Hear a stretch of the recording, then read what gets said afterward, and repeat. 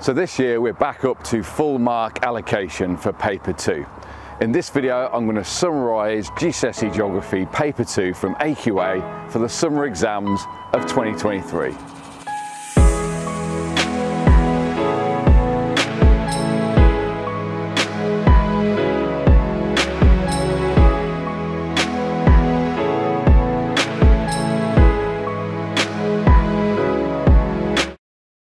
This is my breakdown of the GCSE Geography Paper 2. Now you'll be sitting this exam on Friday the 9th of June 2023 in the morning session.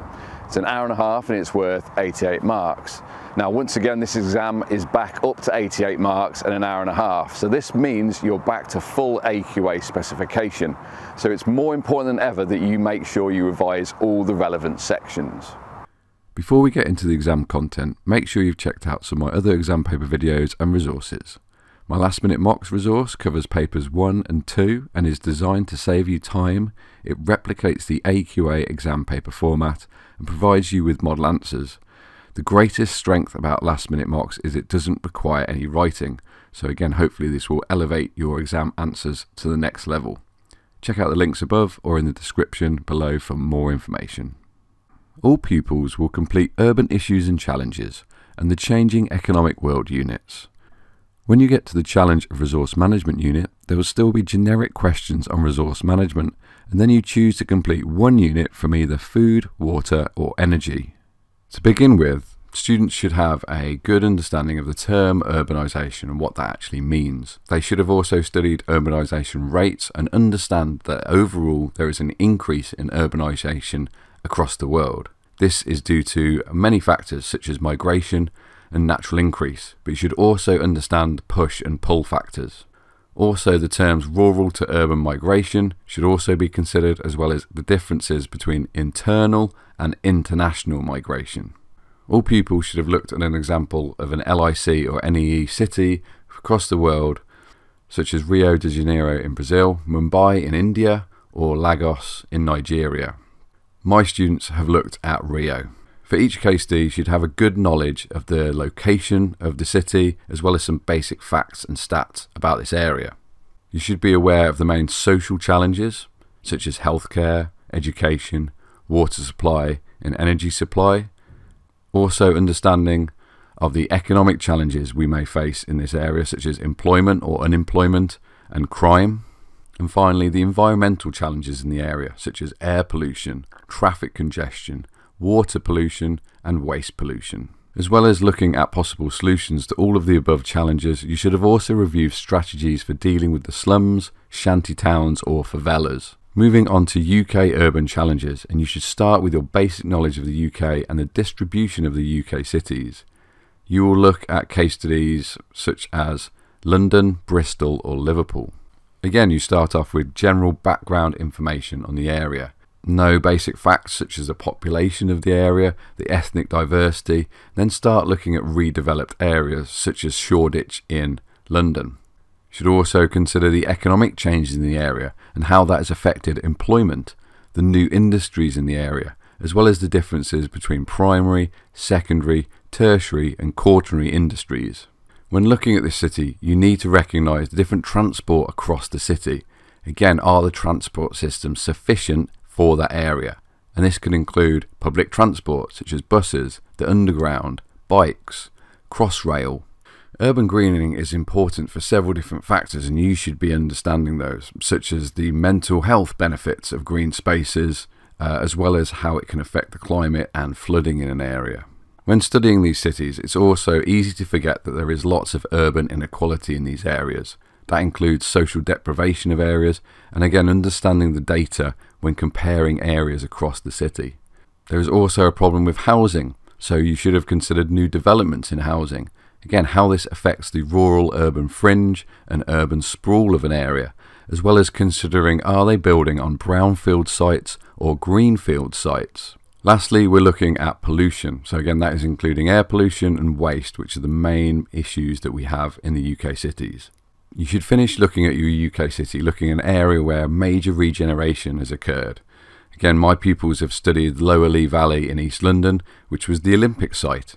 This is a brownfield site, and again, it's created lots of social changes and opportunities. When looking at the London case study, this has created lots of homes in the area. It's developed more sports facilities for the community to use, as well as increased transport links. This has also created lots of economic opportunities, such as employment, as well as changes to the environment, such as urban greening and increased parks, cycling, and pedestrian routes. The last section of urbanisation, we look at an example of urban sustainability, and my pupils have studied Freiburg in Germany. We now look at section B, which is the Changing Economic World Unit. Now, it's important that you recognise the differences that this has to the urbanisation unit. When we're talking about urbanisation, we're generally looking at cities and city environments, but when we look at the changing economic world unit, we're looking at countries and again how their economy has changed the quality of life in that country. We start off defining what we mean by quality of life and how that impacts people. So, when we're looking at the changing economic world, every topic we look at, you should consider how that impacts people's quality of life. We can break that down into economic, physical, social, and psychological factors. And again, we should have an understanding of LICs, NEEs, and HICs around the world. And again, the differences between primary, secondary, tertiary, and quaternary industries. We then move on to start looking at how we can measure development. So, again, you may be presented with a map of the development of the world, so you should have understanding of interpreting what you see on these maps. When we look at the measures of development, the Human Development Index is one of the best ways of measuring how developed countries are, and that's also known as the HDI. You should also demonstrate understanding of the demographic transition model, which is also known as DTM, which shows the different stages of development a country has gone through. You may have also looked at uneven development and possibly the Gini coefficient, which shows the inequality within each country around the world, as well as different methods of reducing the development gap. Transnational corporations, also known as TNCs, aid, and tourism are all methods of reducing the gap, and you should have investigated various different examples for each. My pupils have looked at Shell in Nigeria, different aid projects such as debt relief, fair trade, and intermediate technologies, as well as tourism in Jamaica, Kenya, or Tunisia. You should have then investigated a more in depth example of an NEE such as Nigeria and how it has developed. Moving on to the changing UK economy and how the different primary, secondary, tertiary, and quaternary sectors have developed, as well as the industrialisation across the UK. You would have studied the change to the economy and again looked at data and compared this with globalisation. You should also recognise that we are in a post industrial economy and recognise that this links in with tertiary and quaternary industries. This has developed science and business parks across the country, such as Southampton and Cobalt. You should recognise the impacts of industry and what that has on the environment and how this affects changes to the rural landscapes. This has also affected transport infrastructure across the UK, and this is also highlighted by the north south divide. Lastly, when looking at the UK, you should recognise the links we have with the rest of the world. The final section of Paper 2 is Section C, the challenge of resource management. There will be generic questions on resource management before students then specialise between food, water, or energy. So, when looking at food, water, and energy for the generic section, you need to have just a basic understanding of how demand for food, water, energy has changed in the UK. This may include food miles and carbon footprint. When looking at water, again, you may be looking at the changes in water demands, the areas of deficit and surplus, as well as water transfer schemes. When looking at energy resources, again, you need to recognise the changes in demand of energy in the UK, where our energy comes from across the UK, and again, how we're trying to change the energy mix across the UK. Once you've completed the generic part of resource management, you will choose either food, water, or energy. These optional sections will include questions relating to the rising demand for these resources around the world, how this can lead to conflict, and some of the possible strategies to combat these challenges. So that summarises my breakdown of everything you need to revise for GCSE Geography Paper 2 from AQA that you're going to be sitting on Friday the 9th of June 2023.